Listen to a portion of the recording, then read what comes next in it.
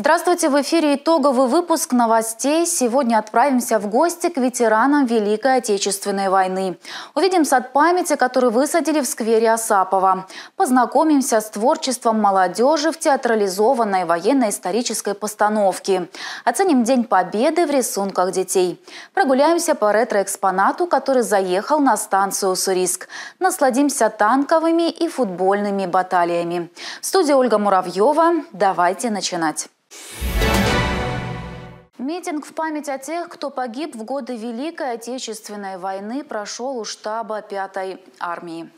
К мемориалу, на который высечены имена 117 героев, бойцов и командиров, возложили цветы ветераны, юнормейцы, представители администрации, а также Думы округа.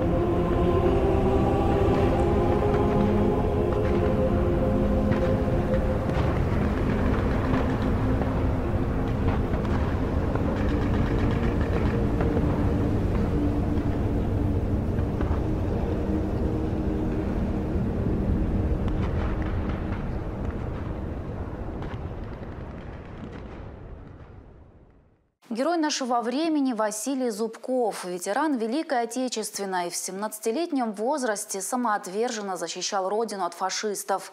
Был ранен. В свои 97 лет бодр и весел. С нашей съемочной группой поделился своей историей. По традиции уважить и поздравить героя с наступающим Днем Победы прибыл глава округа Евгений Корж. На груди нет места без медалей и наград. Знакомьтесь, это Василий Петрович Зубков, единственный в своем роде и один из последних представителей героев Великой Отечественной. Большая честь из первых уст услышать о событиях того значимого для всего многонационального народа России периода. Сам родом из Пензенской области в 43-м призвали в армию на Дальний Восток. В возрасте 17 лет. Службу нес в артиллерийском полку, который дислоцировался в районе Барабаша. После двух лет учений бросили в бой, где Василий Зубков получил ранение. 8 на 9 августа мы вступаем в бой с японскими самураями. Вот приказ Сталина. Приказ войну рассчитывает на три года. И вот сейчас ночью мы пошли в бой на город Дунин. И город Дунин забрали где-то в 9 часов утра. Вот. Подъехали, нас на мосту бомбить начали. Я там вот в лопатку получил ранение и вот тут в ногу. От бомбежки рухнул мост, и бойцы прыгали в воду. В этой страшной суматохе Василий Петрович даже и не понял, что ранен. Товарищ увидел пятна крови, благо осколки только под кожу впились. После госпиталь, обработка повреждений и сразу обратно на линию фронта. В 79-ю годовщину Победы ветерана поздравил глава округа Евгений Корж. Да ну что вы? Что вы? Что вы? Я рад вас видеть. Я тоже очень. Здоровья. Самое главное здоровья, жизнь. Спасибо. Компания «Телемикс» также присоединяется к поздравлениям и желает всем ветеранам, их семьям крепчайшего здоровья и хорошего настроения. Виктория Калинина, Марина Роман, Роман Адонин. «Телемикс». Ветеран Великой Отечественной войны Георгий Штыков принимал поздравления с Днем Победы. В гости к участнику боевых действий заглянул председатель Думы округа Александр Черныш. Об этом наш следующий материал. У Георгия Штыкова, ветерана Великой Отечественной, гости. Поздравить в преддверии празднования 79-й годовщины Великой Победы с подарками пришел председатель Думы округа Александр Черныш. И задушевные разговоры тут же начались. Воспоминания. Одно из самых ярких, конечно же, день 9 мая 1945 -го. Я услышал, что победа. И все выбежали на улицу. Смотрю, куча людей, уже куча людей, все кричат «Победа, победа!» А потом митинг большой. Вот я пошел туда на митинг, там уже конкретно. Объявили. Все очень радовались, все радовались, что победа, победа, победа. А еще ветеран поделился воспоминаниями о том, как в годы Великой Отечественной, будучи подростком, работал на заводе под Казанью. В 1943-м в Волгограде вместе с братом попал под обстрел немецких захватчиков. После войны окончил военно-техническое училище, затем отправился служить в Приморский край. Это большое для меня счастье, что столько мы лет четыре с лишним года ждали этого. И, наконец, дождались. 79-я годовщина Победы. Это очень большое счастье. И ведь не только для меня, он для всех, для всего народа. 1950-53 годах ветеран воевал во время вооруженного конфликта в Корее. Был контужен. В мирное время Георгий Штыков работал на кислородном заводе в Уссурийске. На предприятии прошел путь от простого рабочего до начальника цеха. Имеет ордена и медали. Всегда ходит на парад 9 мая. Виктория Калинина, Игорь Антонов. Телемикс. Сад памяти в Уссурийске «Березовая аллея» появилась в сквере имени Асапова. Свой вклад в общее дело внесли военнослужащие ветераны округа, сотрудники МВД и прокуратуры, а также неравнодушные горожане. Каждое дерево – символ того, что никто не забыт и ничто не забыто. Уссурийск присоединился к всероссийской патриотической акции «Сад памяти». Порядка 70 саженцев высадили на территории сквера имени Асапова в районе Северного городка. Традиция высаживать деревья в память о невернувшейся с полей Великой Отечественной хорошо знакома уссурийцам. Акция прошла по-настоящему массово. В озеленительном проекте поучаствовали военнослужащие, сотрудники МВД и прокуратуры, активисты. В роли организаторов выступила администрация округа, Совет ветеранов и активистки объединения про женщин. Свои деревья участники посвятили не только дедам и прадедам, но и прабабушкам. В каждой семье есть женщина, которая действительно внесла свой вклад в победу. Почему именно березки? Ну, березка – это символ чистоты, символ стойкости. И она так же красива, как женщина. Символично, что к акции также присоединилась супруга Валерия Асапова, имя которого носит сквер. Герой России, генерал-лейтенант погиб, выполняя свой воинский долг в Сирии в 2017 году. Уссурийск останется навсегда в особой, скажем так, памяти для меня и моих детей. Всероссийская акция «Сад памяти» проходит во всех городах страны с 18 марта по 22 июня. В этом году в рамках проекта высадят 27 миллионов деревьев в память о жертвах Великой Отечественной войны. Отметим, наш округ сейчас активно готовится к празднованию 79-й годовщины Великой Победы. Евгений Михайлов, Екатерина Ельмина, Роман Адонин, Телемикс. Поезд «Победы», а точнее паровоз, прибыл в Уссурийск. На железнодорожную станцию в преддверии Дня Победы пригнали для демонстрации ретро-экспонат. Состав выдвинулся из Сибирцева, проследовал через наш город во Владивосток. Какие впечатления и эмоции испытали посетители, расскажем в следующем материале.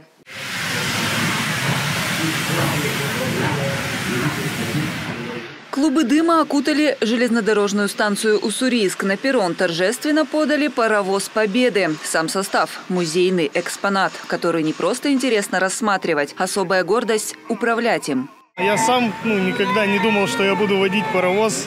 Как бы я был машинистом электровоза, тепловоза, и довелось выучиться на машиниста паровоза. Гордость управлять им. Паровоз «Лебедянка» свое путешествие начал со станции Сибирцево с остановками в Уссурийске и Владивостоке. На ретро-машине красовались еловые ветки, красные ленты и плакаты с символикой 9 мая. А на себе привез несколько платформ с военной техникой. Это танки Т-26, Т-60, бронеавтомобили БА-20 и БА-64, грузовик-полуторка и противотанковая пушка. Сотни горожан пришли поприветствовать поезд Победы. Я ожидала очень большой состав, а он оказался таким маленьким. Но вообще мурашки по коже, потому что мы понимаем, какое событие, День Победы. Это очень важно для всего нашего народа. Я просто счастлива. Мероприятие, в принципе, поддерживаю. Для памяти как бы все нужно. Я не впервые на таком мероприятии. Очень часто, каждый год, в принципе, ходим, да.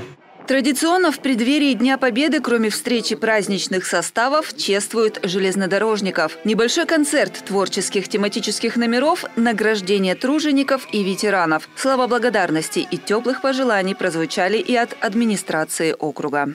Так пусть жизненный подвиг предков еще долгие годы будет служить нам примером мужества, стойкости, искренней любви к Родине.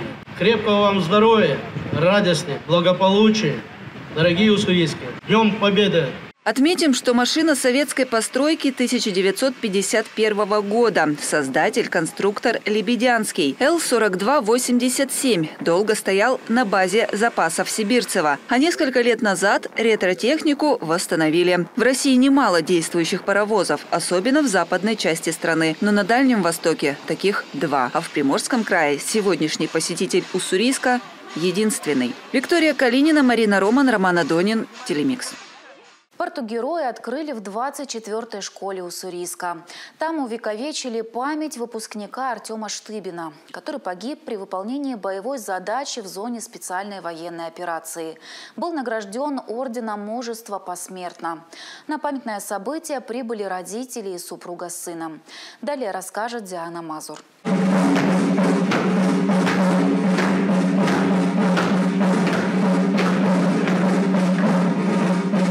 Торжественная линейка и памятное событие прошло в 24-й школе. Парту героя открыли в честь выпускника Артема Штыбина, который когда-то учился в этих стенах. Боец был ранен при выполнении боевого задания в зоне СВО и вскоре скончался. Учебный коллектив, родители парня, жена и восьмилетний сын пришли почтить память героя.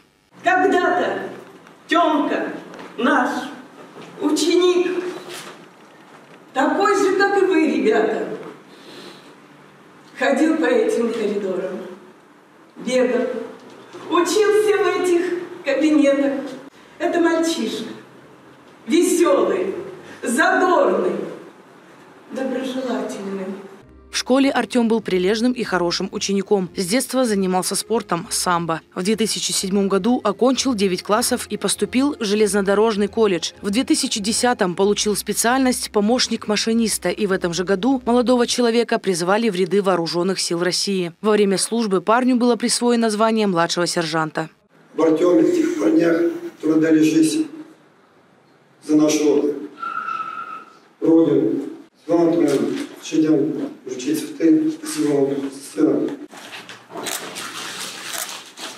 После армии парень вернулся в свой родной город, решил не работать по специальности и окунулся в сферу логистики. С супругой воспитывали маленького сына. Но 22 сентября 2022 года началась мобилизация, и Артем получил повестку. Уже на следующий день отправился в служебную командировку для выполнения боевых задач в зону СВО. Мама погибшего солдата с большим волнением вспоминает тот день. Меня в груди так защемило, хотя еще ничего я не знала.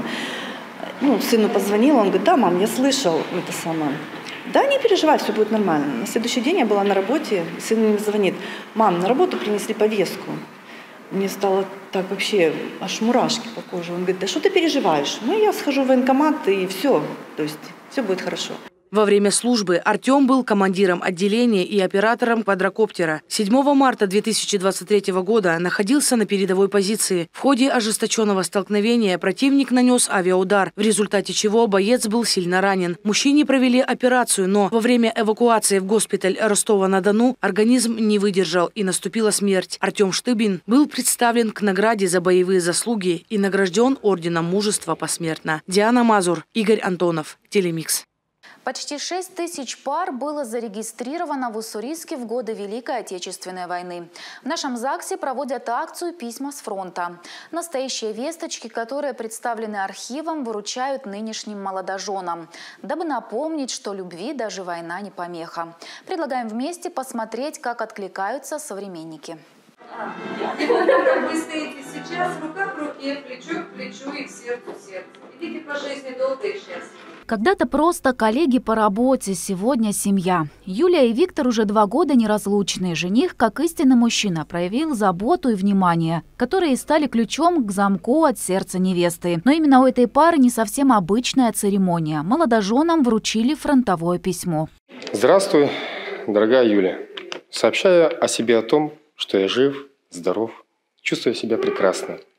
Продолжаю жить на старом месте. Жизнь протекает однообразно. Юля, сегодня день моего и твоего рождения. И отметить этот день было нечем. Ничего не поделаешь, не позволяет обстановка. Эх, если бы был дома, то день твоего и своего рождения отметили. Далее говорится в письме. Автор поздравил свою возлюбленную с 30-летием. Ровно два года и два месяца герои того времени были в разлуке, когда писались эти строки. Что почувствовали? Ой, не знаю даже, как сказать. Не знаю, что ответить. Человеку тяжело очень далеко от семьи. Хочется, чтобы сейчас, в наше время, побыстрее это все закончилось. Все вернулись к своим семьям, живые и здоровые.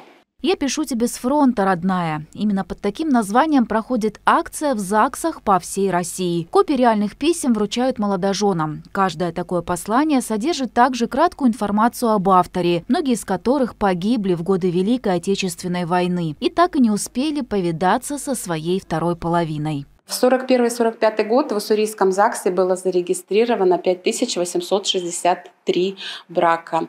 Э, сегодня, вчера, сегодня в нашем ЗАГСе будет более 20 пар, э, которые оформляют свои отношения государственной записью. Всем будут вручены копии писем с фронта и тем, кто в зале, и тем, кто не торжественно регистрирует брак, для того, чтобы э, продлить связь поколений. Акция призвана показать молодым семьям, как влюбленные супруги в годы Великой Отечественной войны дорожили отношениями и чувствами, бережно и с уважением относились друг к другу. Ольга Муравьева, Марина Роман и Игорь Антонов. Телемикс. Пасхальная радость. Тематическая ярмарка прошла в Уссурийске. У молодежного центра «Горизонт» жителям и гостям города предлагали приобрести куличи, а также поучаствовать в мастер-классах. Что для себя выбирали посетители, расскажем в следующем сюжете. Куличики, калачики и другая сдоба. Ярмарка «Пасхальная радость» прошла в Уссурийске. В преддверии светлого православного праздника у жителей и гостей города была возможность запастись традиционной выпечкой у молодежного центра «Горизонт». Здесь развернули свои торговые палатки передовики производства. Есть с маком, смотрите, с орешками, есть с цукатами и твор творожные. Есть вот такие, посмотрите, какие красивые. Это тоже творожные. Есть простые вот куличи сдобные с изюмчиком. А дома вы какие предпочитаете куличи? А дома я предпочитаю с изюмчиком. В общем, Пасхи можно было выбрать на любой вкус, а между делом у посетителей ярмарки была возможность поучаствовать в мастер-классах. На территории рукодельницы Уссурийска развернули больше 10 площадок, где предлагали свои изделия, а также учили всех желающих разным техникам. Я раньше хотела валять шерстью ну, у меня кошка есть. Я когда ее вычесывала, из ее шерсти валяла, и потом ей игрушки делала. Такие, э, нитку привязывала, играла с ней. У нас здесь мастер-класс. Мы делаем вот такого замечательного цыпленка. Или будет ленточка. Так. Из чего? Из картона, бумаги. Вот такие вот дополнительные элементы, глазки. Вообще он поднимает настроение, правда? Такой яркий, красивый. На ярмарке мы пообщались с уссурийцами и выяснили, что праздник Пасхи особенный для многих. Традиционно пекут куличи, красят яйца, и это еще один повод собраться в кругу родных, друзей и близких. Виктория Калинина, Марина Роман, Игорь Антонов. Телемикс. И все-таки мы победили театрализованную постановку военно-исторической тематики представили в Уссурийске. Главные герои – дети, сюжетная линия выживания в Великую Отечественную войну. Такой проект у нас показывают впервые. Оценить премьеру смогла и наша съемочная группа. Майор артиллерии с ампутированной ногой в сумасшедшем бою подели на себя принявший огонь и другой. Добрались за винтом.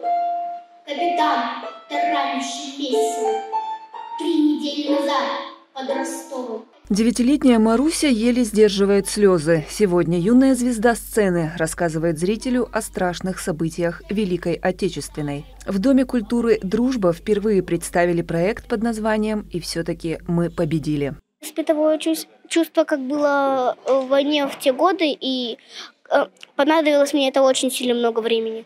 50 участников, все дети, в этой театрализованной постановке рассказывают и показывают жизнь подрастающего поколения в период войны. Здесь и юные ударники труда на заводах, сельскохозяйственных полях, беспризорные. Стоит отметить, что события, которые передали в данном проекте, имели место быть в действительности и именно на территории нашего родного Уссурийска.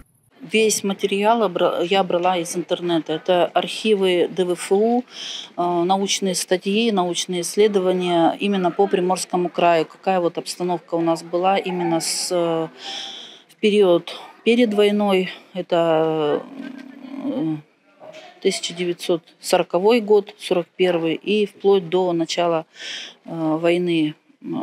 Как жили, чем жили, что делали. Чтобы в полной мере передать дух того периода, в проект были включены песни, стихотворения, музыкальное сопровождение, которые в действительности писались и исполнялись во время Великой Отечественной. Каждая деталь продумана до мелочей. Платочки, способ укрывать им голову, фартушки, предметы быта, что использовали как реквизит. Все это отображает то страшное для нашего народа время. Отдельного внимания достойна хореография. Нам нужно было через язык хореографии без слов, именно на мимике, именно на хореографических каких-то движениях нам нужно было показать и станок а, заводской, и поле, и людей, которые в то время работали на поле. Да. Дети никогда с этим не встречались, не связывались. Для них это было, конечно же, очень большое открытие. Работали над проектом и все-таки мы победили почти год. Это не просто заучивание текстов, песен, движений, проработка деталей. Участники в действительности окунались в эпоху, изучали исторические факты. Так что приглашаем сурицев и самим прикоснуться к прекрасному творчеству и посетить премьеру 7 мая в молодежном центре «Горизонт» в 18.30. Виктория Калинина, Марина Роман, Роман Адонин. Телемикс. Торжественное собрание воинов Уссурийского гарнизона в честь 79-й годовщины со Дня Великой Победы прошло в Доме офицеров Российской армии. На церемонии почетными грамотами и благодарностями администрации, а также Думы округа отметили тех, кто отличился при выполнении служебных и трудовых обязанностей. В продолжении встречи состоялся праздничный концерт. В этот праздничный день желаем вам здоровья, бодрости духа, и светлых надежд на будущее. Еще хочу сказать а, нашим прадедам, дедам и отцам, что как вы в 41-м, так и мы сейчас в 24-м. Побеждаем и победим фашизм. У нас есть выражение нашей крылатой пехоты «Никто, кроме нас». Вот сейчас никто, кроме нас, сможет победить и порвать фашизм. С праздником, с Днем Победы и за победу! Победная постановка на сцене драмтеатра имени Веры Комиссаржевской. Чтобы помнили по пьесе Дударева, покажут 9 мая и сразу после него. Это героическая баллада о судьбах людей, вчерашних школьников, в жизни которых многое не случилось, а произошло еще больше. Мы побывали на одной из репетиций. Давайте посмотрим. Они молоды, энергия в каждой бьет ключом. Четыре юные девушки, вчерашние школьницы, сегодняшние бойцы отряда специального назначения. На сцене драмтеатра имени Комиссаржевской репетируют, чтобы помнили, героическую балладу о предпобедном 1944-м. Очень сложно, потому что приходится все пропускать через себя. И все эти эмоции, они преимущественно, конечно, грустные. Это такая боль за то время, за то, что пережила моя героиня, поскольку это на реальных событиях, я понимаю, что этот человек, правда, это все пережил. Это пьеса Алексея Дударева «Начало белорусской наступательной операции», в которой фронтовик Михасев получает в распоряжение четыре юных особы, но у каждой за плечами столько пережитого и столько непрожитого. Героиням 17+. Но что такое боль потери, знает каждая. У нее такая особенность. Она после того, как побывала в концлагере, она не могла спать два года. Инсомния, сомния, дисомния – это по латыни. А, и для всех это было дико. Как? Ну вот психика сработала. И определенная мелодия, тут вот как раз звучит определенная мелодия, которую девчонки должны идти э, туда, э, за линию фронта, и э, все это воплощать, но э, не, не, она не смогла. Задача внедриться в тыл врага и ценой своей жизни помочь в наступательной операции. История о страшных реалиях войны. А еще о том, как все могло сложиться, не будь этих трагических лет. Пьесу уже мог видеть уссурийский зритель и не раз. Оба городских театра ее ставили в разные годы. В этом показе новые образы героев и много творческих композиций. Мы туда включили стихи, стихотворения известных поэтов и не совсем известных поэтов. Вот, и музыку известных композиторов и неизвестных композиторов. Лейтмотивом этой муз... этого э, спектакля, музыкальным мотивом, э, служит э, музыка Григория Зинченко. Это наш местный уссурийский композитор, который давно написал эту музыку. Я открою секрет, что этот спектакль уже ставился. Возрастное ограничение 12+. Смотреть можно всей семьей и классными коллективами. Непременно каждый зритель выйдет с мыслями, которые стоит додумать, переварить, осмыслить и оценить самое ценное, что может быть в жизни каждого человека – мир над головой и те блага, которые этот мир дает каждому. Чтобы не забывали, и чтобы сейчас в нынешнем поколении, которое далеко от этого, это ребята там 12-15 лет – Э, они вообще же не задумываются. Если вот в них не развивать, вот, ну, не рассказывать о том, что это когда-то было, они, мне кажется, многие даже не интересуются этим. И поэтому наша задача, наверное, главное, чтобы все-таки вот соприкоснулись с этим. Премьерный день показа 9 мая. Это будет бесплатный спектакль. Справки в кассах драмтеатра имени Комиссаржевской. Вторая дата – 10 число в 18.30. Ольга Муравьева, Игорь Антонов, Телемикс. Современные, народные, уличные и классические танцы на любой вкус показали приморские коллективы в Уссурийске. Дальневосточный хореографический конкурс «Полет ласточки» прошел в Доме офицеров. В атмосферу зажигательных ритмов окунулась и наша корреспондент Екатерина Ельмина.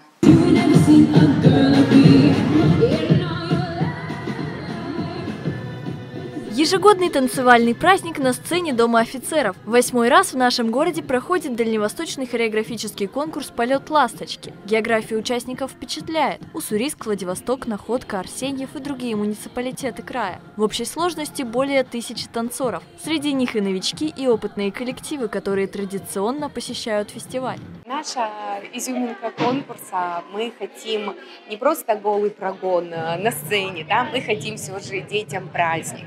Естественно, мы э, приглашаем и свет, и дым, и э, стараемся как-то украшать э, наш баннер, чтобы он был необычный, и чтобы детям было интересно. В программе порядка 170 номеров в самых разных направлениях. Жюри оценивает выступления по ряду критериев, таких как техника исполнения, костюмы, актерское мастерство.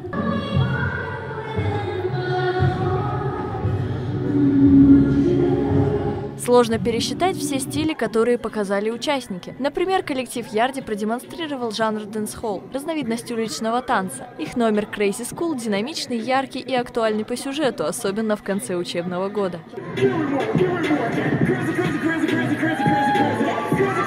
То, что школьники, которые устали учиться, они веселятся, и то, что учеба уже чуть-чуть надоела.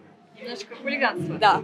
Народные танцы не уступают современным в популярности. Традиционная хореография завораживает зрителей, а у самих исполнителей так и горят глаза. Мне нравится, когда мы крутим абертасы, и сзади нас э, дел... ну, берут ленты, и получается такая красивая карусель. Очень красиво это получается, мне это очень нравится. Сложно ли синхронизироваться? Ну, сложно, да. Между прочим, для одной из участниц коллектива Виктории Капусты выступление получилось особенным. День фестиваля совпал с днем рождения девочки.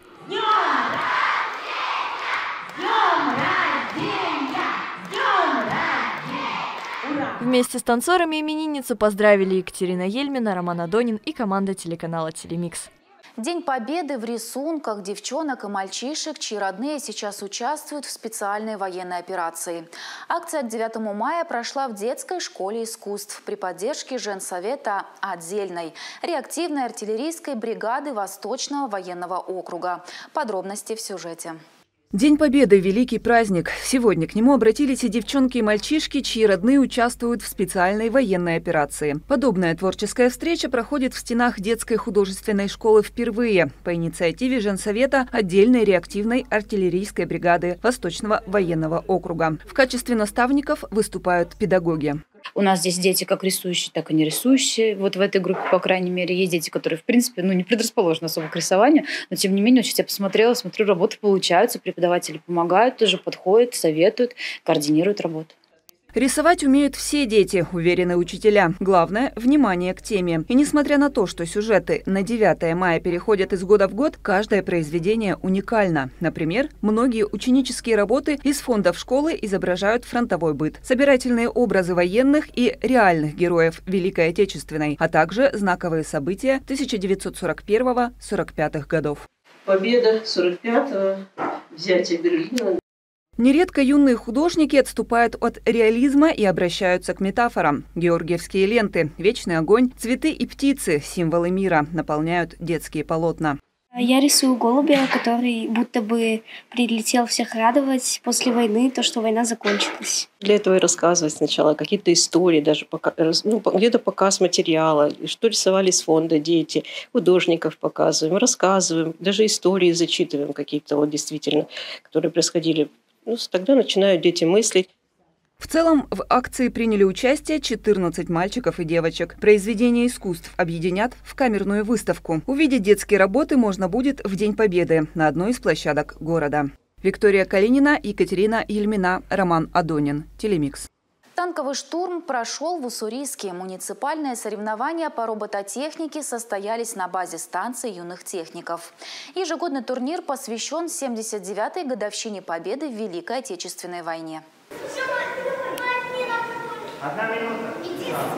Пока игроки младшей возрастной группы уже вовсю сражаются на поле, их старшие товарищи только готовятся к старту. Ежегодные соревнования по робототехнике «Танковый штурм» собрали на станции юных техников 15 школьных команд. Специально для чемпионата участники разработали собственные модели танков. Однако, чтобы получить допуск, необходимо пройти техконтроль. Мы задали параметры 25, 25, 25 по всем сторонам, соответственно, моделей. Э, вес не больше килограмма. Мы это все замеряем при помощи, у нас куб есть такой специальный, э, по габаритам внешним, а по весам, ну, соответственно, весы.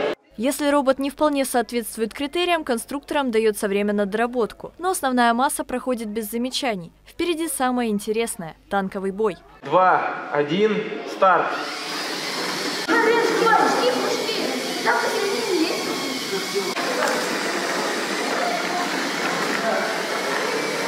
Три танкиста, как в известной песне, таков состав команды. Задача участников преодолеть свою часть поля, зайти на территорию противника и сбить их фишки. Кто выйдет из боя победителем, решает техника, стратегия, слаженность действий и иногда случай.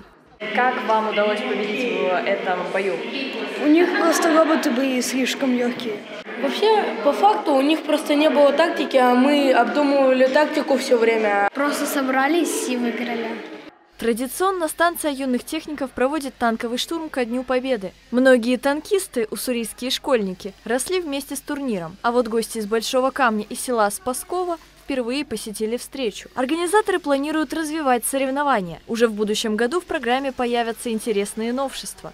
Мы уже об этом э, думаем давно и хотим э, на следующий год провести соревнования танковый биатлон, ввести новые дисциплины, то есть это будут уже такие большие соревнования с преодолением сложных препятствий.